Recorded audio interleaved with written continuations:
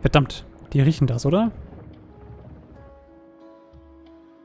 Ach so, wir hätten noch Munition reintun können. Naja, mal gucken. War wieder klar, dass der letzte Schuss dann wieder nicht reicht, ne? So, ich pack das Ding schon mal ein. Aber die sind auch nicht mehr da, oder? Nee, war klar. Irgendwo werden die gleich ankommen und irgendwelche Sachen zerlegen. Können wir mal gucken gehen.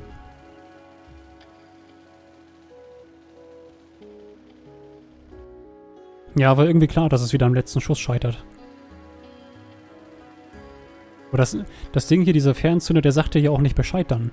Ja, der macht ja einfach weiter.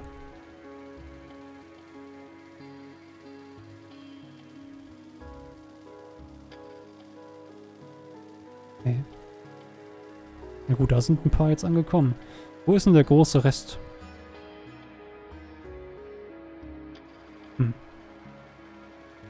Ah, hier sind sie.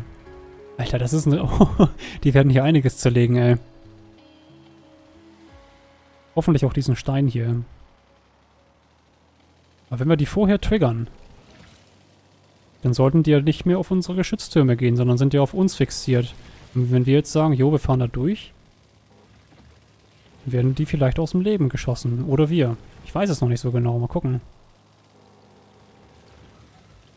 Testen. Nee. Die gehen sofort auf die Gebäude. Krass. Oder auch... Äh, wo kommen die jetzt her? Interessant. Wir fahren mal ein bisschen zurück. Hier sind mehr Türme.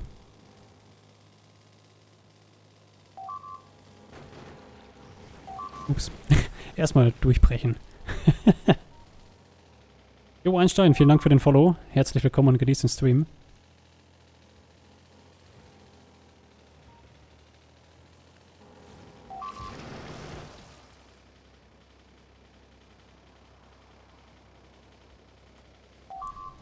Hey, unser Auto ist kaputt gegangen.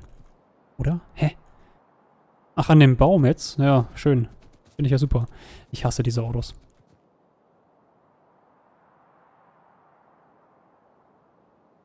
Gut, gut.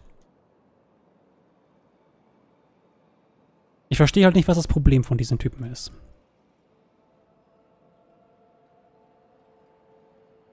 Keine Ahnung. Wir lassen das einfach so stehen. Die werden den Rest erstmal bauen, weil es macht gerade überhaupt keinen Sinn, weiter da unten irgendwas hinzustellen.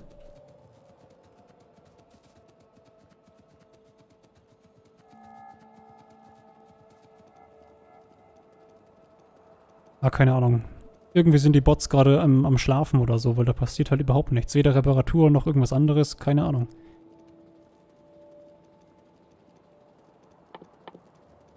Können doch mal ein paar nachschieben, aber ich bin nicht der Meinung, dass es daran liegt, weil normalerweise habe ich da erst genug reingeschmissen von den Dingern.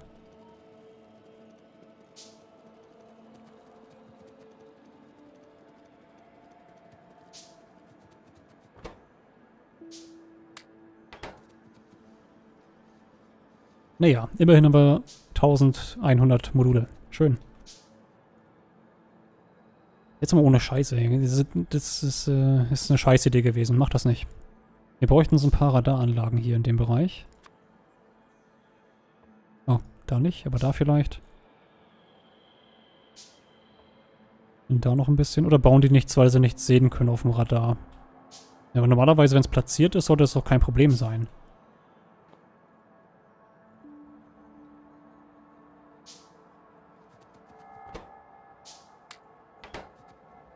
Genau, die restlichen 10 behalten wir.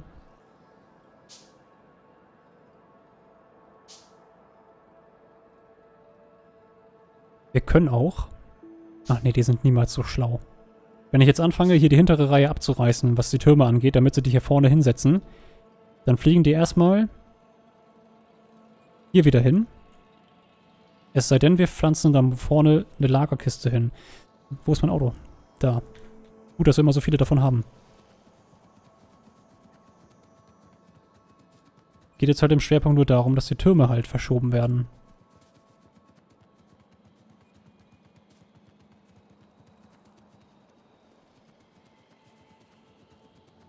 Ja, und dann werden wir mal demnächst neue Schmelzen bauen. Aber wie gesagt, das ist so eine Sache, da werden wir uns morgen im Schwerpunkt drum kümmern.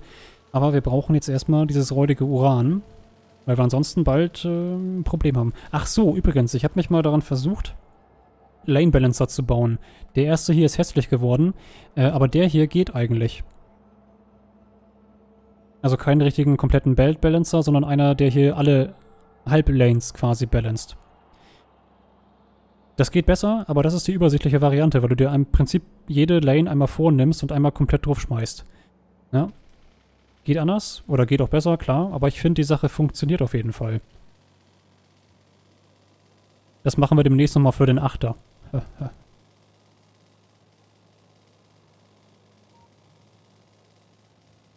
Kiste haben wir noch, ne? Jo.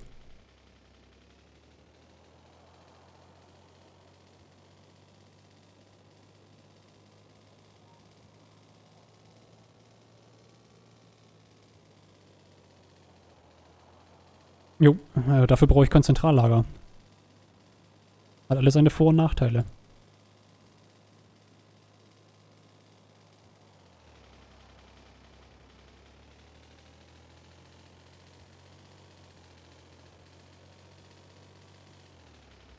So, ich werde einfach mal eine Lagerkiste hier hinstellen.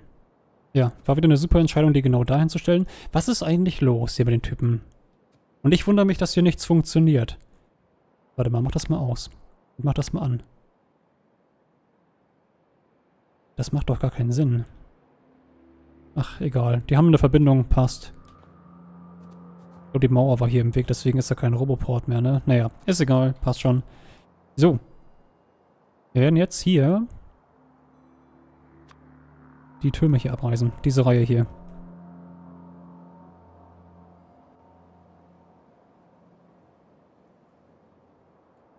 Und diese hier. Und nein, die möchten diese Kiste nicht haben. Weil sie sich sicher sind, dass oben eine Kiste steht, die einen Logistikfilter hat. Ich habe es schon fast befürchtet. Diese Bots, ey, das ist unglaublich. Ja, die fliegen jetzt mit den Türmen einmal hier hoch. Ähm, warte mal. Bis zum Lager. Also bis zu dieser Kiste hier. Dann nehmen sie das wieder raus und fliegen wieder runter. Super. Das ist echt eine geile Nummer, ey. Wenn wir hier schon mal einen reinstellen, so als Anfütterung, testen wir das nochmal. Ach, halt dein Maul, ist egal. Dann eben nicht. Können wir hier noch mehr abreißen? Jep, können wir.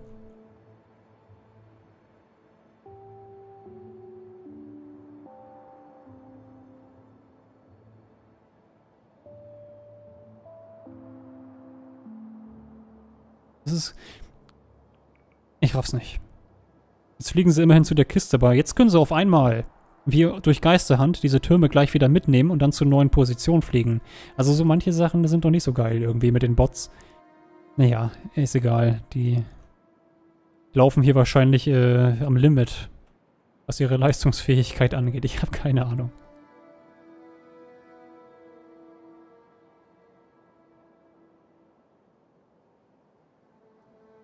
Ja, je mehr hier unten steht, desto mehr können wir oben abreißen und so können wir den Kram nach unten halt irgendwann durchziehen.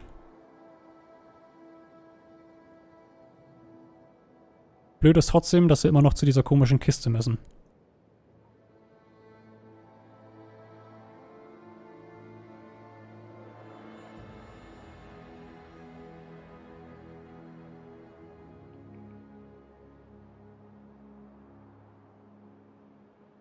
Ja, Speedrun ist gar nichts für mich. Also, keine Ahnung. Also jetzt nicht nur in Bezug auf Factorio oder sonst irgendwas, sondern generell auf die Spiele. Ja, ich, ich zock das ja normalerweise, weil ich ja mir die Zeit dafür nehmen möchte. Und, naja. Ein Speedrun ist ungefähr genau das Gegenteil von dem, was ich eigentlich vorhab. Weil ich finde auch generell, klar, ich meine, auf der einen Seite ist es halt irgendwie doch bemerkenswert, wie sehr sich die Leute darauf vorbereiten. Das ist bei manchen echt heftig. Aber ich finde nicht mal den Content dazu äh, interessant. Was? Hm, ganz schön dunkel da unten.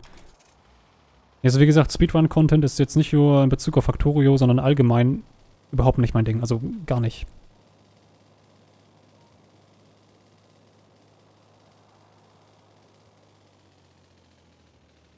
Na gut, haben sie ja geschafft. Die setzen wir da nicht wieder hin.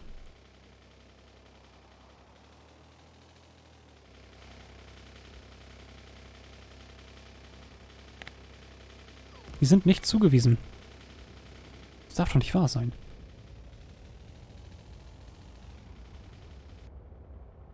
Irgendwie haben wir hier ein logistisches Problem, glaube ich.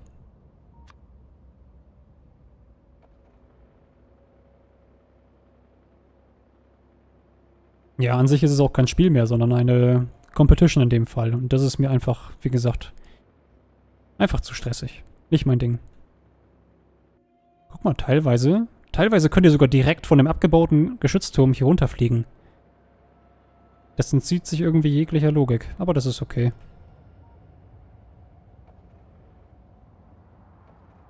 Vielleicht sind die Bots ja weiblich. Uh, das habe ich nicht gesagt.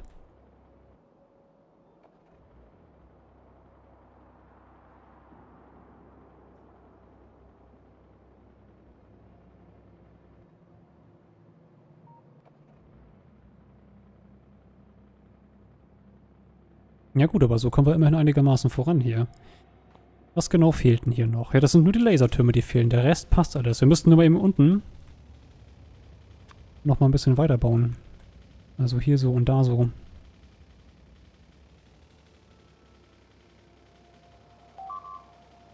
Ach, die sind auch schon wieder am Start, die Kollegen.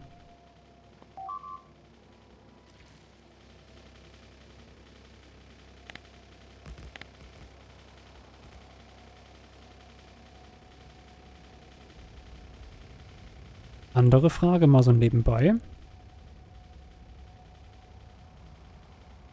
Es sind gerade ganze zwei Logistikbots unterwegs. Und immerhin 100 Bauroboter. Okay, das ist interessant. Warum nur zwei Logistiker? Äh, ich weiß es nicht.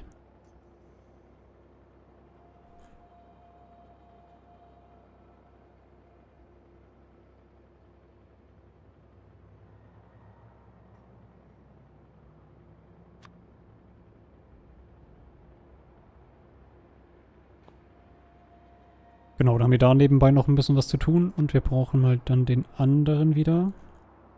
Den hier, genau. Ja, und dann geht's weiter. Also in gewisser Weise, ich glaube, wenn man den Dreh raus hat, geht das sogar. Also man schiebt halt den ganzen Kram einfach so ein bisschen vor sich her. Ob das hier Sinn macht, ist eine ganz andere Sache, aber ich glaube nicht. Äh, wir hätten das auch ganz anders lösen können, weil ich habe das eigentlich nur erst so gemacht, weil ich mir dachte, oh, da unten sind fette Basen, dann kriegen wir ordentlich aufs Maul, aber geht. Geht halt tatsächlich. Und Jebuma lässt noch ein Follow da. Vielen Dank für den Support und herzlich willkommen. Genießt den Stream. Vielen Dank fürs Einschalten. Ich meine, das Coole an der Methode ist halt einfach, man hat schon Cityblocks da. In der Minimalausstattung, nur mit Stromleitung, ohne diesen hier fancy Betonstuff und so weiter. Das heißt, das können wir schon so machen. Ich meine, gebaut werden müssen die sowieso nachher. Ja, und wie gesagt, hier haben wir den Falschen erwischt. Da können wir gleich auch das Licht wieder rausnehmen. Braucht kein Mensch.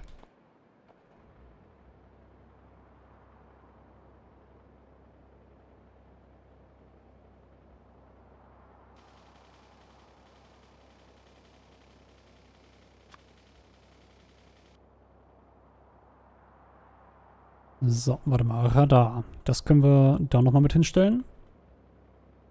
Im Grunde auch hier nochmal. Das machen wir gleich. Und generell können wir auch hier nochmal die ganze Kante eben irgendwie voll machen. Ja, hier links ist nicht so wichtig. Aber wir haben auf jeden Fall gleich schon mal den Part bis hier unten eingenommen. Uhaha. So. Ja, moin. Ih, ist ja ekelhaft.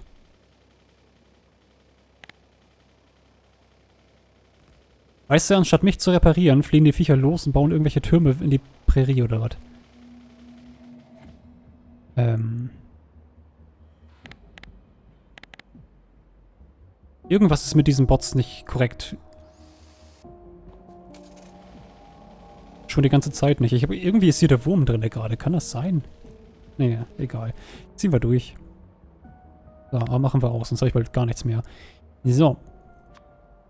Die können wir uns wieder einsparen. Und diese hier vielleicht auch. Ich weiß es nicht genau. Hier hinten, guck mal, da. Oh. Den hier brauchen wir jetzt wirklich nicht.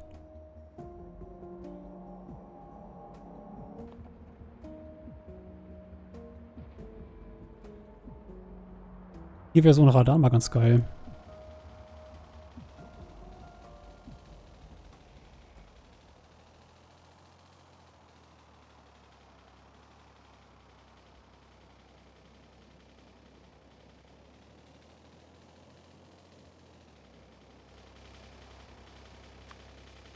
Bis die Dinger hier sind, dauert das sowieso Ewigkeiten. Aber das ist okay. Pass auf, wir machen jetzt folgendes. Mm, wir werden stumpf hier runterbauen und ich werde einfach versuchen, hier die Mauer reinzuziehen. Ich bin mal gespannt. Also, warte mal, haben wir nicht noch das Dings dabei? Ach so, Moment mal. Wir sollten aber gleich wieder die Beine in die Hand nehmen.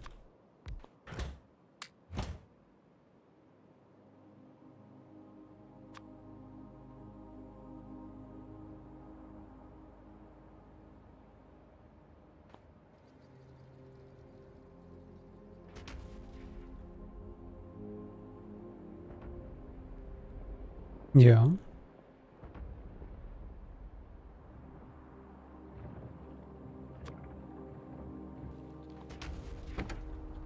Ach, verdammt, wir haben ja nichts mehr. Stimmt. Das andere Auto ist ja hops gegangen. Okay.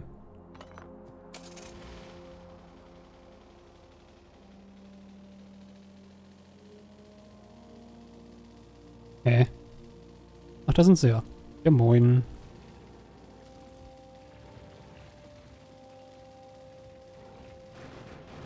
Das ist ein Stein. Wollte ich mal kurz anmerken. Diese fucking Steine, Alter, das ist einfach unglaublich scheiße. Also ich habe die nicht gesehen. Die haben einfach dieselbe Farbe wie der Untergrund. Ich fahre da nie wieder runter bei so einer Aktion. Das ist einfach bescheuert.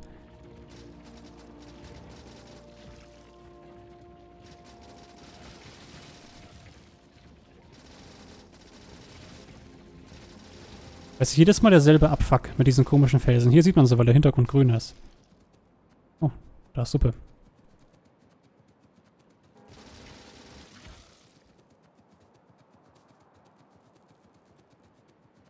Äh, Endziel? Nee, eigentlich nicht. Also, ja. Erstmal will ich dieses Uranvorkommen haben. Das wird noch ein paar Stunden dauern, bis wir hier unten angekommen sind, wenn ständig irgendwelche Scheiße im Weg liegt. Ja, aber generell so der erste Schritt ist erstmal, ja, ein Tausender SPM diesmal. 1000 ist an sich immer eine solide Grundlage. Und dann können wir ganz gut hochskalieren, denke ich mal. Mal gucken. Wir werden aber die 1000 äh, nicht in diesem Basiskonstrukt hier machen. Wir werden vielleicht ja, sagen wir 200, 250 SPM hinkommen. Als Grundversorgung erstmal. Und alles weitere bauen wir dann woanders hin. Wo? Weiß ich noch nicht. Aber ich sage ja schon die ganze Zeit, ne, das hier ist nur die Basis, die uns die Basis baut. Oder generell Dinge zur Verfügung stellt, die wir brauchen. Und da gehört halt auch so eine kleine Grundversorgung an Forschungspaketen mit dazu. Ob das nachher im Endeffekt so stehen bleibt, das weiß ich noch nicht. Mal gucken. Ja, da steht noch viel zu viel von der Basis.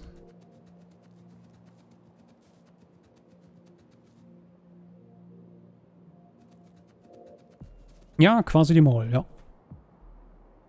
Ja, wir brauchen kein Auto, sind so schnell genug.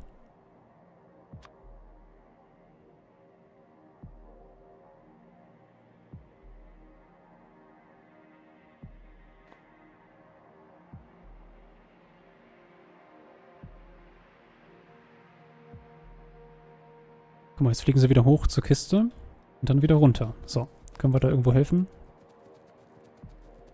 Nee.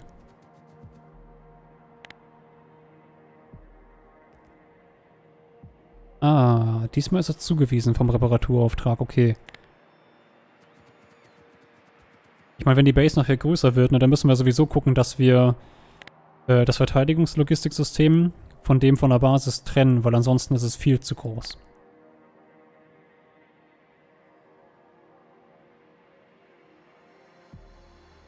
Äh, Map. Ja gut, das ist halt das Problem gerade. Es fliegen äh, für meinen Geschmack viel zu wenig hin und her. Aber hier wird auch gerade nicht so viel gebaut, das ist schon okay.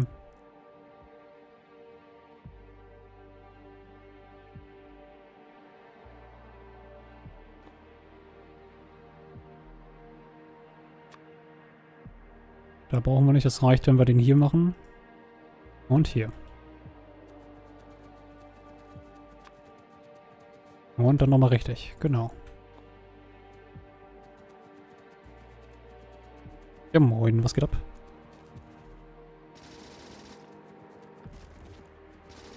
Das Geile ist halt, wir laufen inzwischen schneller. Wir dürfen nicht dabei schießen. Beim Schießen laufen wir langsamer.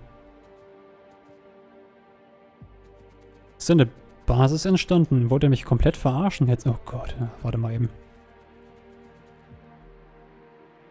Nee, also da können schon ein paar tausend Roboter rumeiern. Das, davon geht der Rechner nicht in die Knie. Sollte er zumindest nicht.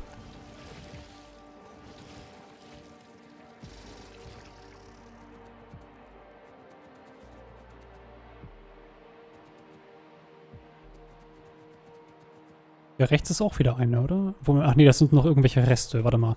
Ich muss mal kurz die Karte ein bisschen aufräumen, weil bis die Radare da mal längst gescannt haben, dauert das Ewigkeiten. Können wir hier irgendwas mit unserem Laser machen vielleicht? Nicht so? Nee, das ist mir ehrlich gesagt ein bisschen zu viel noch. Oder? Warte mal, wenn wir jetzt hier unten längs rennen, da ist gerade keine Sau. Einfach mal die Spawner so ein bisschen... Ja, siehst du, geht doch. Aua. Die Suppe ist halt gefährlich, ja, die, die slowt. Wenn man da so ein paar Suppen gefangen hat, dann ist scheiße. Also dieser interne Laser ist ganz schön krass irgendwie, oder? Kann das sein? Aha. Das ist schon heftig irgendwie. Also ich will jetzt auch nicht zu viel riskieren, aber diese kleine Base kriegen wir auch noch weg. Ja, die grünen, die sind äh, hart.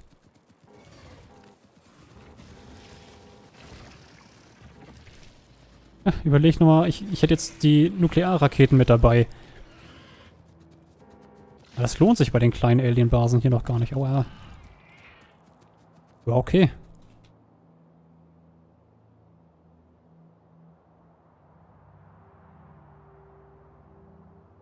Ja genau, wenn sie einen irgendwann komplett eingekesselt haben, dann wird das mit dem Nuklearsprengkopf auf jeden Fall interessant. Aber ich finde die Laser, die sind halt schon krass, ne? Ich meine, wir haben jetzt auch ein paar mehr eingepackt, ja. Aber die Batterie ist auf jeden Fall noch voll, das ist gut. Ah, bei dem Grün helfe ich immer so ein bisschen nach hier. Genau. Wo hat der denn hingeschossen? Richtiger Noob. Aua. Vor allem, diese Säure geht auch gut durchs Schild durch, ne?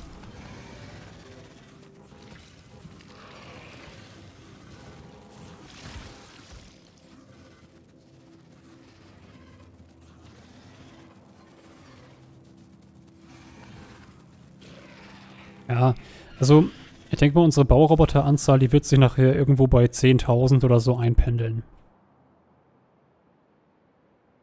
Dann kommen da noch ein paar Logistiker oben drauf. Und dann ist es gut. Ich will keine großen Warentransporte herstellen, nur mit den Robotern oder ähnlichem. Ähm, so ein paar Kleinigkeiten machen wir, wie die Munitionsanforderungen zum Beispiel für die Artillerie und für die Verteidigungssysteme. Das läuft über die Logistikbots. Aber alles weitere, Entweder Züge oder Bells.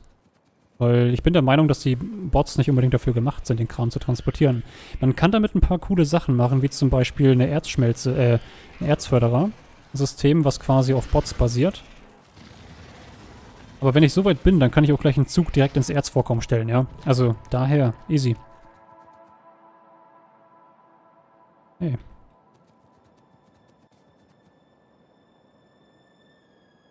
Also ich habe mit den Megabases auch noch nicht so viel Erfahrung, aber ich bin meistens so ein Typ, dass ich zumindest es schaffe, mir einen Plan zu machen. Ob das dann funktioniert nachher, ist ein ganz anderes Thema.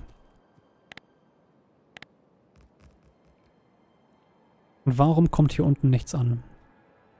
Okay, pass auf. Die nächste Reihe ist fällig, die kann verschoben werden nach unten.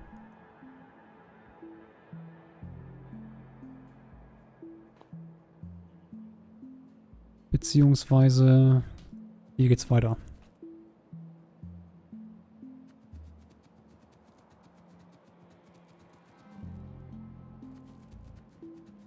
Pollution ist an sich nur indirekt ein Thema bei der Performance, weil je mehr Pollution da ist, desto mehr Beißer lockst du an. Und je mehr Nester berechnet werden müssen, desto höher die Performance einbußen. Deswegen ist Pollution eher so ein Auslöser vielleicht kein richtiger Faktor, der mit reinspielt, sondern es hängt dann nachher eher mit der, mit der Menge der Basen zusammen, glaube ich.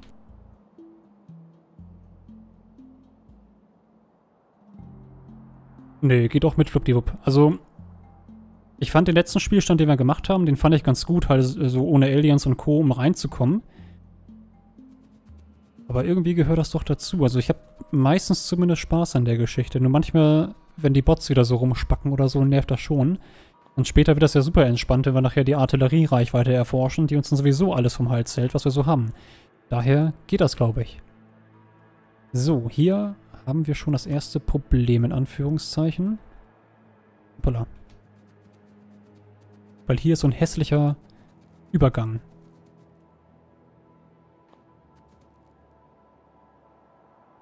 Mit Wasser. Ja. Yeah. Das ist richtig räudig. Hm, wir haben ja in gewisser Weise fast ein Logistiksystem hier, ne? Ich habe auch gerade gar nichts mehr dabei, um irgendwas zu bauen. Okay, warte mal. Die werden zwar ordentlich fliegen müssen, die Kollegen, aber ich bin gerade echt zu faul, da hochzulaufen.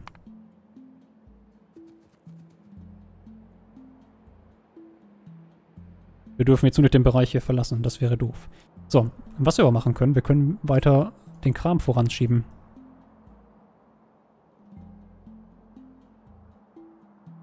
Oh, wie praktisch.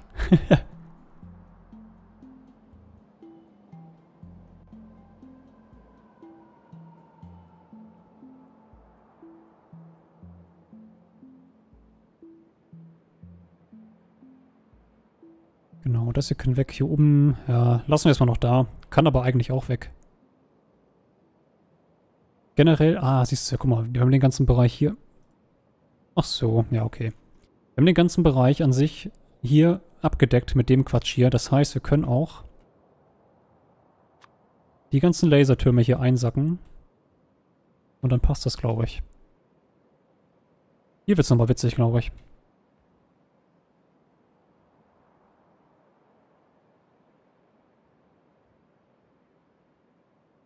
Können wir zufälligerweise noch so ein paar Radaranlagen irgendwo hinstellen? Ich glaube, hier brauchen wir nicht mehr. Nee. Aber hier wäre ganz cool. Und vielleicht hier.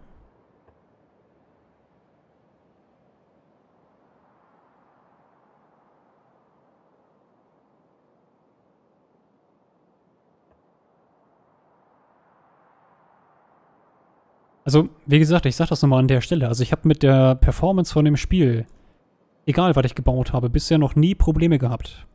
Da redet man von Größenordnung, wo ich sag mal 90% der Spieler gar nicht erst hinkommt. Mich eingeschlossen. Ja? Also bis man an dem Punkt ist, wo man wirklich mit der Performance am Kämpfen ist. Ja, das dauert. Also da würde ich mir erstmal gar keine Gedanken zu machen.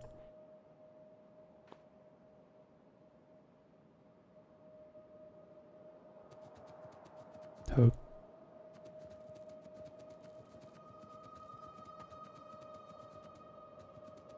Genau, wenn wir schon mal an der Ecke hier sind, hätte ich gesagt, wir stellen auch hier nochmal schnell ein Radar mit dazu.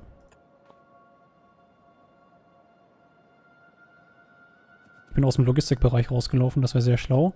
Weißt du was, ich hole mir das Zeug einfach selber. Bis die Typen hier sind, dauert das sowieso.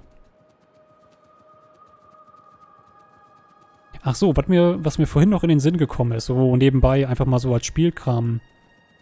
Äh, ich würde vielleicht auch mal diese Kohleverflüssigung mal ausprobieren wollen. Noch nicht, aber zu einem späteren Zeitpunkt vielleicht. Weil, um ganz ehrlich zu sein, ich habe das seit Ewigkeiten nicht gemacht. Einfach mal so.